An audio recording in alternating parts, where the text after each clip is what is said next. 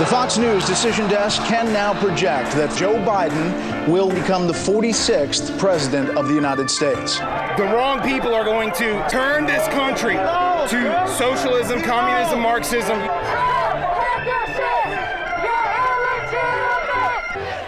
It's been a year like no other in America.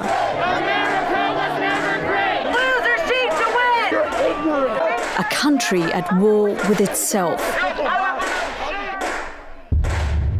The radical Democrats are trying to capture Georgia's Senate seats.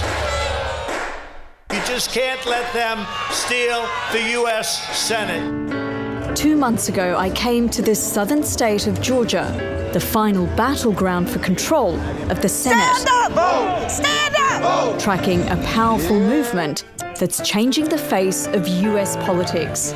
We had to fight for the right to vote. Hey, you registered? Yes, ma'am. All right. Our people have worked and died for this right. So we're not going to let anybody take it away from us.